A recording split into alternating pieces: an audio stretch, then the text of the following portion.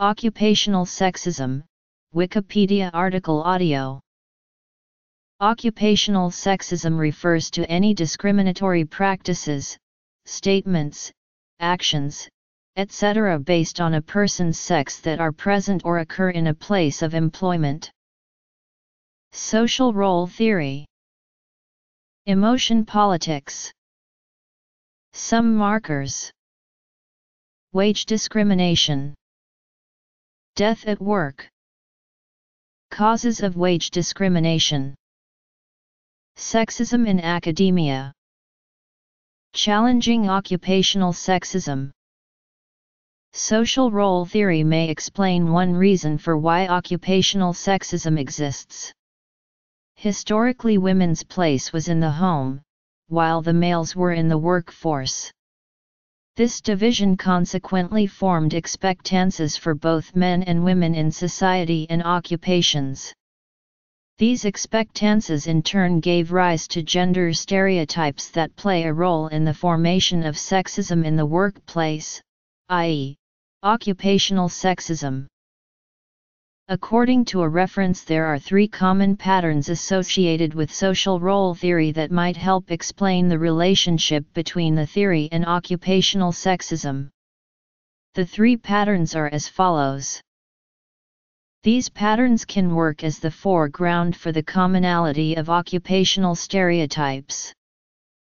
One example of this in action is the expectancy value model. This model describes how expectances may be linked to gender discrimination in occupations. For example, females are expected by society to be more successful in health-related fields while men are expected to be more successful in science-related fields. Therefore, men are discriminated against when attempting to enter health-related fields, and females are discriminated against when attempting to enter science-related fields. The forefront for this model is based on an individual's aspirations towards a career. These aspirations in turn led to expectances of successful careers. However, socialization trumps the effects of personal aspirations and expectations, because socialization has the tendency to shape individuals' self-perceptions. Therefore, when a man enters a stereotypic female career, his socialized self-perceptions might influence him to be more aware of possible occupational sexism. Sexism also arises in the workplace through the beliefs concerning which emotions are appropriate for employees to show. Stereotypically, women are expected to be kind and nurturing, communal, and modest, while they are not expected to display anger. Expressing an emotion that doesn't line up with people's beliefs about gender appropriate behavior could lead to being given a lower status at work, and consequently, a lower wage. A 2008 study found that men who expressed anger in the workplace were given a higher status, while women who expressed anger in the workplace were given a lower status, regardless of their actual position in the company. A trainee and a CEO who were female were both given a low status when displaying anger. Additionally, women who displayed anger in the workplace were assumed to have something internal influencing their anger, as opposed to having an external reason to be angry. Men more often had their anger attributed to an external cause. The expression of anger is believed to be related to status, as anger is considered a status emotion. Positive impressions of those who display anger are reserved for people who are stereotypically conferred a higher status. A 2007 study found that male employees who were in a subordinate position in the workplace displayed anger toward higher status employees, while female employees in a subordinate position displayed anger toward higher status employees much less frequently. This suggests that the stereotypical norm of men displaying anger carries over into the workplace, while the norm of women restraining displays of anger also carries over. It also suggests that, although men in low-level positions in the workplace possess a low status in this context, they may carry over the higher status that comes with their gender into the workplace. Women do not possess this high status, therefore the low status that low-level women possess in the workplace is the sole status that matters. Howard J. Wall, an economist for the Federal Reserve Bank of St. Louis, states that women make a median hourly income that was equal to 83.8% of what men make. In the late 1980s, studies saw that about a fair amount of the gender pay gap was due to differences in the skills and experience that women bring to the labor market and about 28% was due to differences in industry, occupation, and union status among men and women. Accounting for these differences raised the female-slash-male pay ratio in the late 1980s from about 72% to about 88%, leaving around 12% as an unexplained difference. The majority of occupational deaths occur among men. In one U.S. study, 93% of deaths on the job involved men, with the death rate approximately 11 times higher than women. The industries with the highest death rates are mining, agriculture, forestry, fishing, and construction, all of which employ more men than women. Deaths of members in the military is currently above 90% men.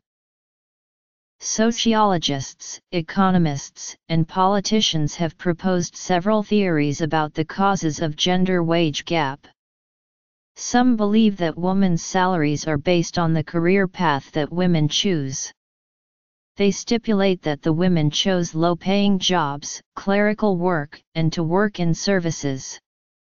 This is said to be relatively true at time because many women who select these careers find it easier to continue working these simple jobs rather than quit them if they choose to raise a family universities have been blamed for being sexist in their hiring decisions.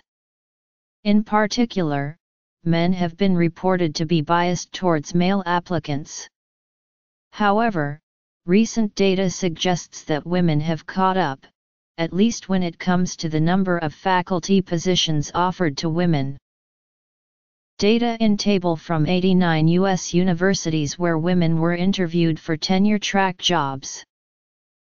Occupational sexism become institutionalized in the U.S. today when women were originally able to join the workforce by men primarily in the 20th century and were paid up to two-thirds of what males' income were.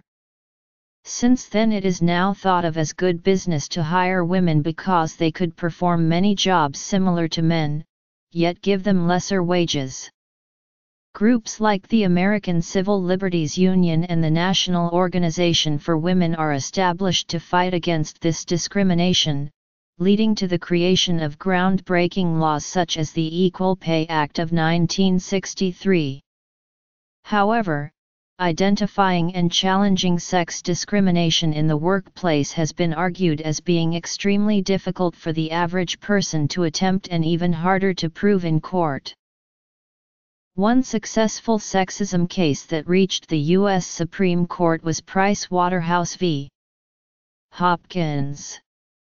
Ann Hopkins, a senior manager at Price Waterhouse, sued her employer, arguing that failure to promote her to partner stemmed not from her abilities which had been undeniably stellar but from certain partners thinking she didn't carry herself in a feminine enough manner. The Supreme Court ruled 6 to 3 in Hopkins' favor, and a lower court ordered her employer to award her partnership and pay her back wages lost during the case. Another Supreme Court case, Ledbetter v. Goodyear Tire and Rubber Co., saw a judgment in favor of plaintiff Lilly Ledbetter which had awarded her back pay and damages for several years of receiving disproportionately low pay in comparison to her male counterparts overturned because she waited too long to file suit. After a 5-4 decision, the majority cited reasoning that federal law states that employees must file their discrimination complaints within 180 days of the incident, a task that dissenting Justice Ruth Bader Ginsburg claimed was unreasonable considering that quite often women have no reason to suspect discrimination until certain unfair patterns develop and they are made aware of them.